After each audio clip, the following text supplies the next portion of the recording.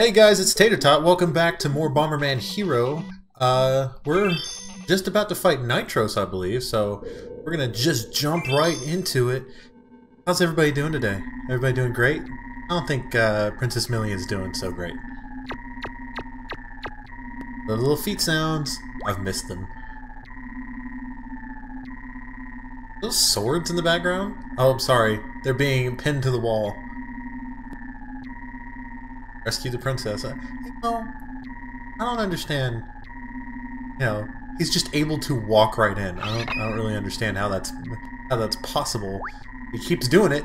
This time I'll rescue. Are you sure about that? how many times has this happened so far? See, even she knows. She's like, man, I'm so boned right now. All right, let's rock and roll. Uh oh, he's got some shields. So it's pretty obvious. There are three shields. You have to destroy them before you can actually get to him. I don't think that really needs a whole lot of explanation. Oh. Oh, I got that one. It was good. Still have a time limit like before. Oh, I'm... For those of you wondering, it has been a little while since I've played this game. I'm not making up excuses, I'm just saying. It's been a while.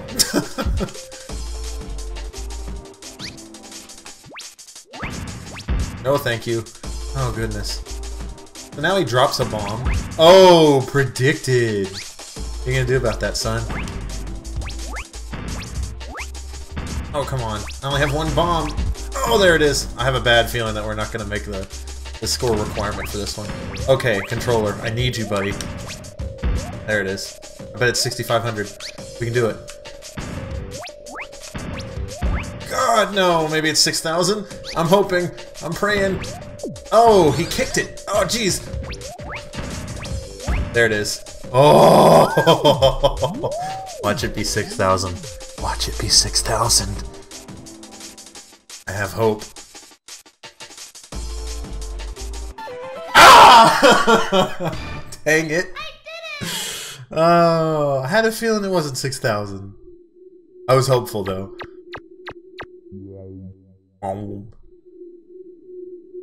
I'm Whoa! Buddy! Not the time for this. Not the time at all. What? What? Princess? This is most heinous. Well, well kind of jacked that all up, but you know what? We're just gonna move on for now. Ho ho! He going from "I'm coming, Princess Millian" to "Hard Coaster." Let us let's. I I don't want to say it, but I was gonna say let's ride the hard coaster, but you know what? Let's just move on. Some things are better left unsaid. Okay, so it's extremely sandy. Oh, sandy. Okay, so we're moving on. There's tons of sand, and this is an extremely boring level because you're just like riding these platforms for nine tenths of the level, and then and you can see, as you can see, they don't move very quickly, and sometimes you gotta jump down there to the uh, to the warps and there are multiple paths to take, it's, oh, it's bad. But we're gonna soldier on. So hope everybody's having a good day so far. Uh, I'm having a pretty good day. Uh, wife and I just recently got our combatives belt, or we just qualified to receive our combatives belt, and it takes a while to receive them, so it's kind of waiting at this point. Okay, we're getting some frame rate issues. Bomb you bastard! Okay. Oh, uh, there's a glove icon. We haven't seen that before. That'd be interesting. I for Whoa! I was about to say, I forget what this does. I, I remember now. Needless to say. Uh, it causes you to throw your bombs really, really far. Which can be nice in situations like these, but I feel like it's kind of just a gimmick. It's just like, oh, here's a here's a power up that allows you to throw your bombs really far. And it's just like, but is that really necessary? And no, it's not really necessary. Of course, it's necessary if you want a good score, but it'll probably say here, oh, what? Why would you tell me that? I thought we already knew that. I'm gonna jump.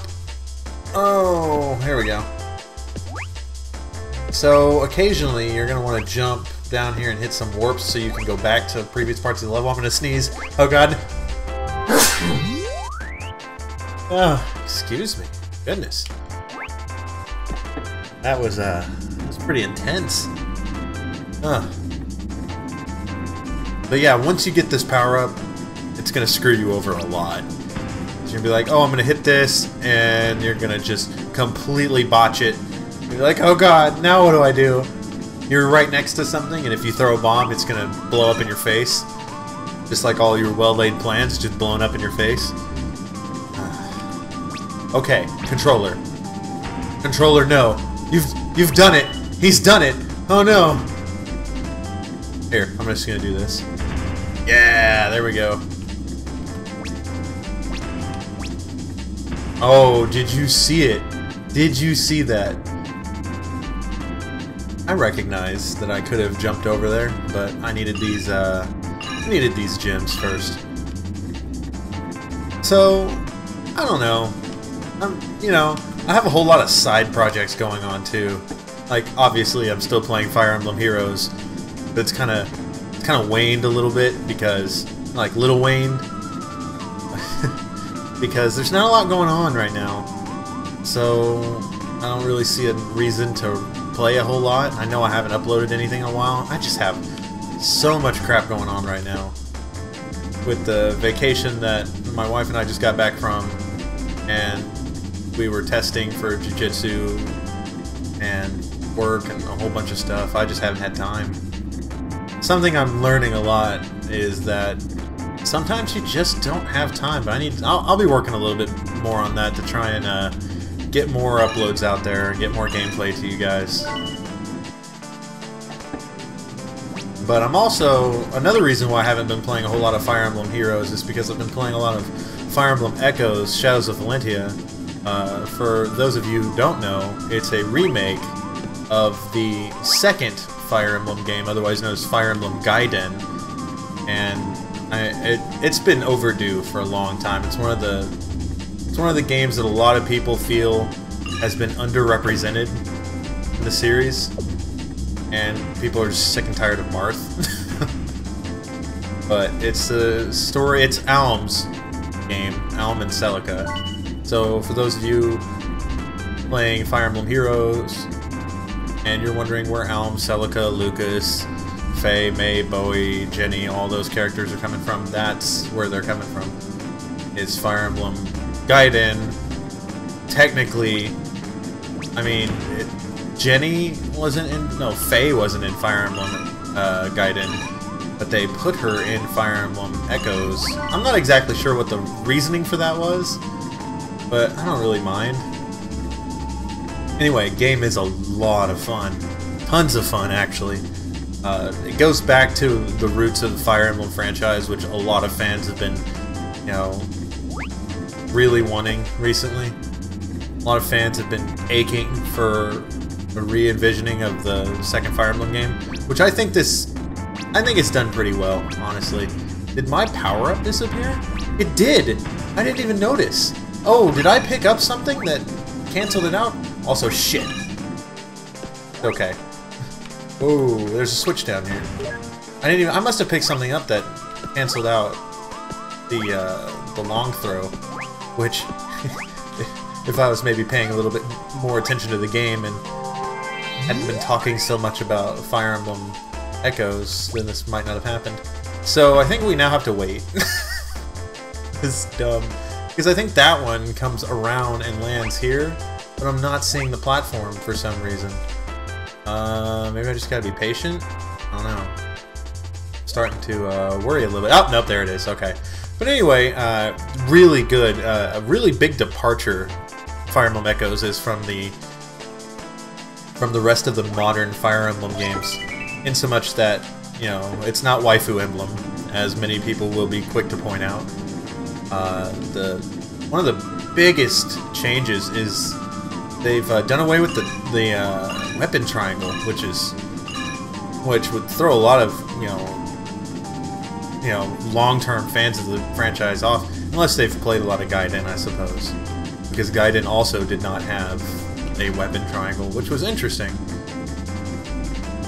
But there's, I mean, you can tell it's an older game that's being re revisioned and not a new one, because the uh, enemy layouts and maps in general are just a little bit weird. And I say a little bit weird because it's just like, oh hey, we ran into this group of enemies and it's just one big long line of cavaliers. it's kind of funny actually. But anyway, uh, I don't know if I can make that jump. I'm gonna give it a shot.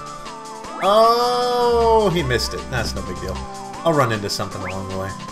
It would have been that, but uh, yeah, I messed that up. Uh, actually, I'm gonna I'm gonna slow play this actually, and just take my time here. Wait for the thing to come back down. I'm actually further away from it than I want to be.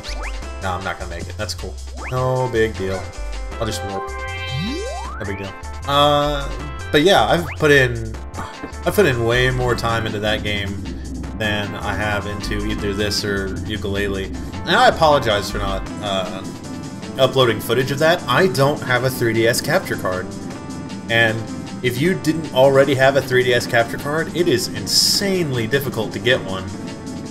And there's not really a whole lot of options to capture 3DS footage than to have a 3DS capture card installed, which requires, and I, I may be uh, misunderstanding the entire process, but I'm going to try and explain it the best I can.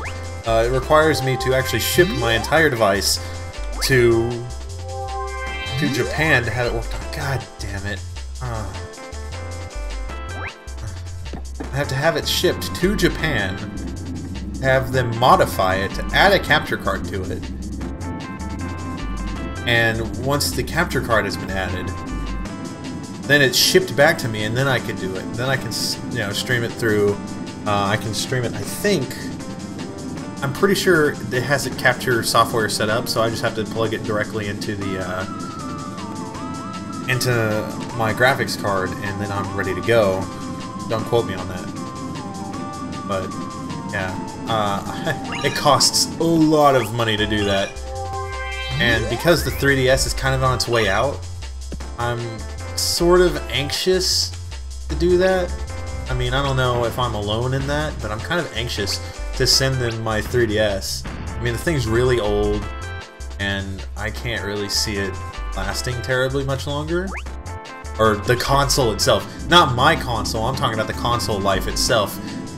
Probably won't last much longer. So, if I wait, I can maybe uh, get it at a reduced price or something because the because it's I don't know obsolete. It's kind of my game plan right now.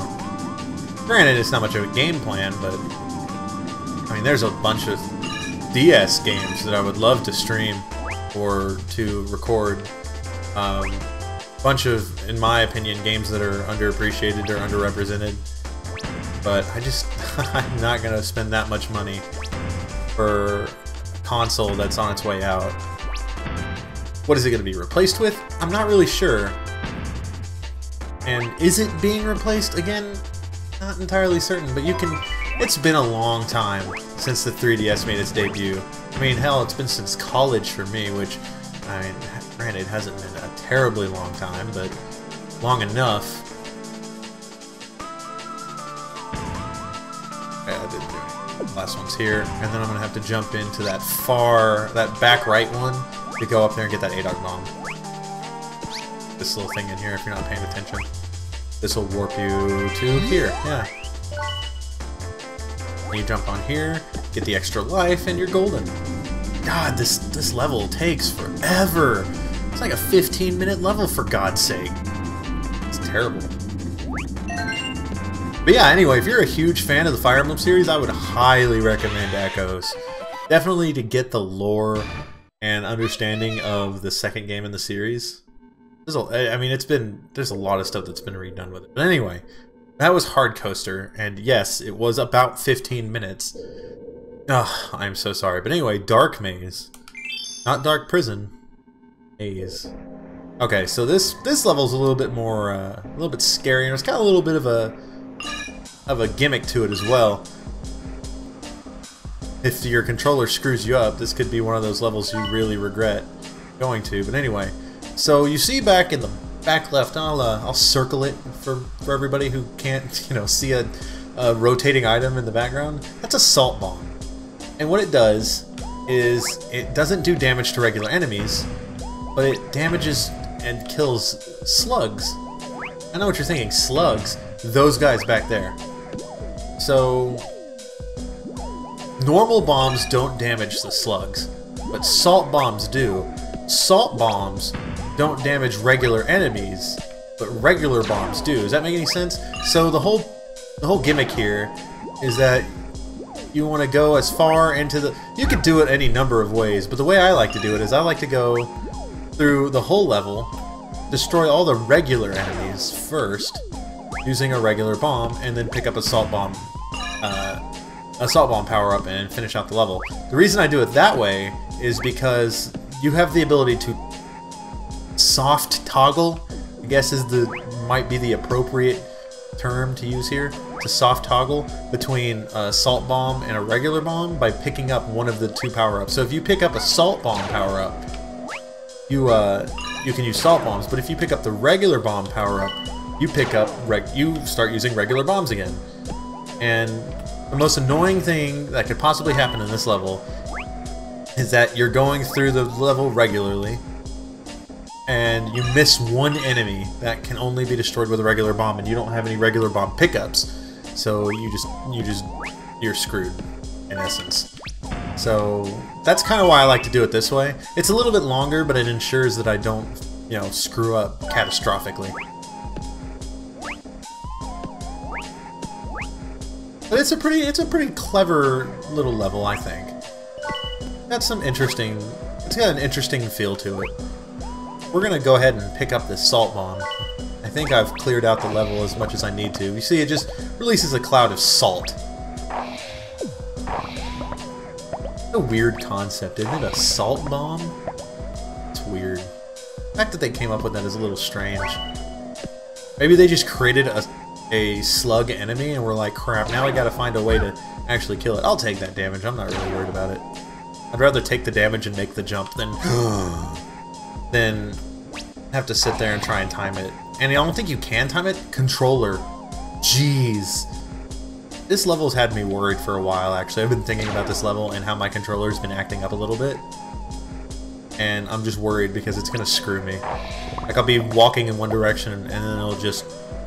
You know, it'll just shoot me in the other direction right off the right off the right off the side of the level. I really don't want that, but I can just feel it. I feel it happening already. See, this is this is the part of the game where it just slows down to a crawl because you don't know where all the enemies are. You have to go one step at a time to find them all. Kind of be a bit of a pain. Gonna jump across here. I don't know if there are any slugs up here. There are. I'm not even sure. This might be like a 3000 level, honestly. I think it might be. One of those that you can get more points than are actually in the level. I could be totally wrong about that. I could be BSing you guys, but I have a feeling that's what it is. Um, I'm really not certain there's anything left in the level, actually. I think I'm just gonna move on. I'm just gonna catch a ride on this bad boy here. I'm gonna jump straight to the exit. Uh, I have a bad feeling. Nah, it's cool. There's two slugs up here. Never mind, it is 3500. Yeah, you want to end with salt because of these guys right here, and then you're done. Of course, you get the Adok bomb, yada yada yada. I So I think we have time for one more level, and it's Mad Coaster. A lot of coasters here, so we're just gonna rock it. Was it? No, it was Power Rangers in Space. I'm sorry. I got... I, I kind of ADD'd there for a second. I said we're just gonna rock it, and that made me think about, you know, somebody saying let's rock it, and that made me think of Power Rangers in Space. Kind of a weird thing to do. I'm sorry. I know that's probably throwing a lot of you off guard a little bit, but I can kind of do that sometimes. Or I'll just be, I'll just be talking and then I'll just trail off in some, on some random topic like Power Rangers. My conversations with uh, friends and family can kind of go a bit awry.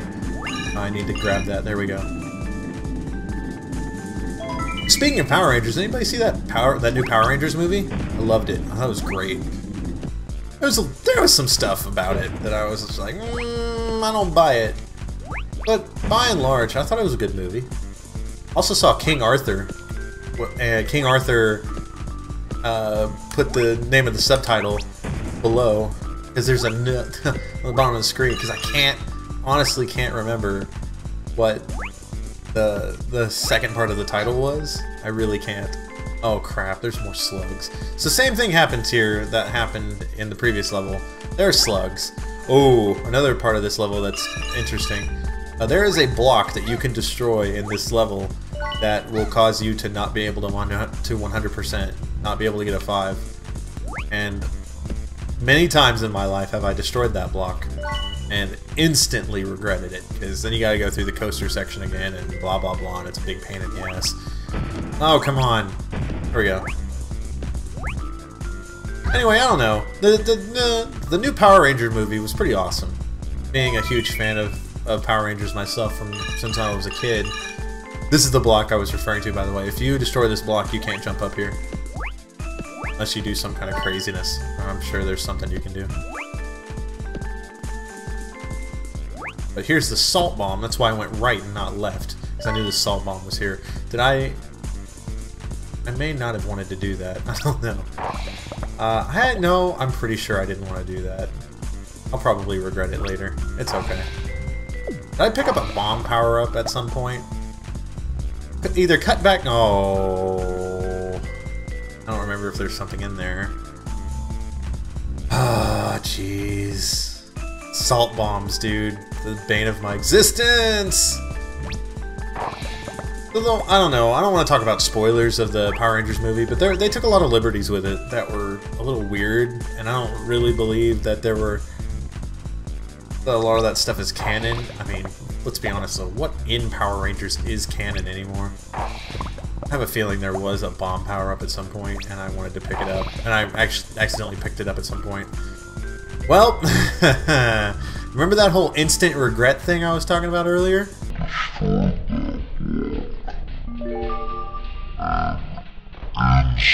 Right about now, I am a dumbass. Uh, now I gotta go and navigate this minefield of dudes, of water molecules. Instant regret. I don't know. Did I pick up a bomb power-up at some point? I, I really don't know. Ah, regardless.